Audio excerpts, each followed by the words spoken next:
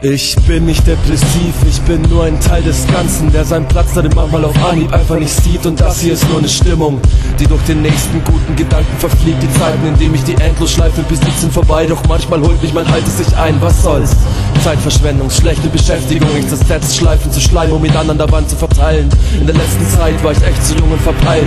Der gleiche Gedanke kommt wieder, wenn die nächste blinde Phase verblasst und der Nebel klare Konturen erkennen lässt. Wie krass, ich hab wieder mal viel zu lange alles falsch gemacht. Doch diesmal wird alles anders, ich werd mich von jeglichem Ballast befreien. Kann schon sein, kann schon sein. Doch vielleicht bleibt alles gleich und am Ende steht wieder das Drecksgefühl, dass das Leben eine Endlosschleife bleibt.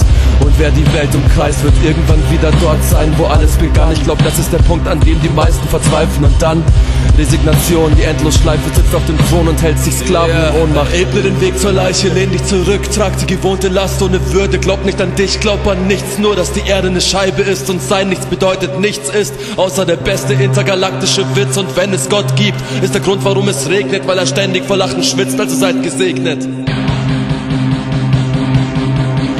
Sie spricht wie ein Wasserfall, doch jedes Wort ist falsch. Sigmund Freuds ist du hört nicht zu, sie ist überall. Die Endlosschleife, sie spricht wie ein Wasserfall, doch jedes Wort ist falsch. Jedes Wort ist falsch, sie spricht wie ein Wasserfall, doch jedes Wort ist falsch. Sigmund Freud ist true, du hört nicht zu, sie ist überall. Die Endlosschleife, sie spricht wie ein Wasserfall, doch jedes Wort ist falsch.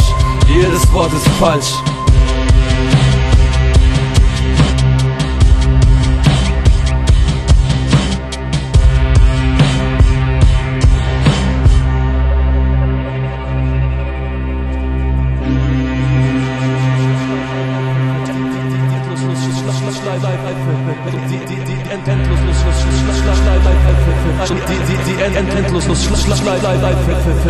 Manche Menschen können nicht denken, manche können nicht aufhören damit, so wie ich verbringt sie viel Zeit mit der Frage, was die Frage ist.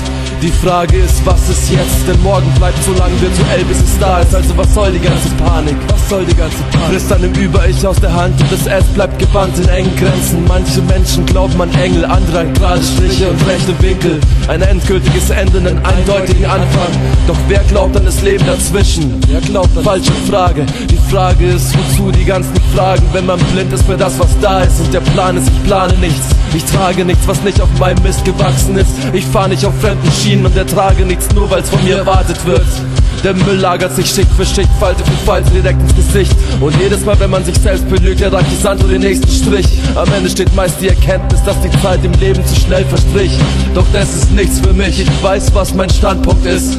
Und was, wenn er dir später mal nicht mehr wichtig ist? Ha? Falsche Frage, denn der innere Monolog ist mein Feind. Er hält für jeden Gedanken der Endlosschleife bereit, die sich im Geist verkeilt wie Zecken im Fleisch. Ich bin bereit, reiß alles raus und ersetze es mit Gleichgültigkeit.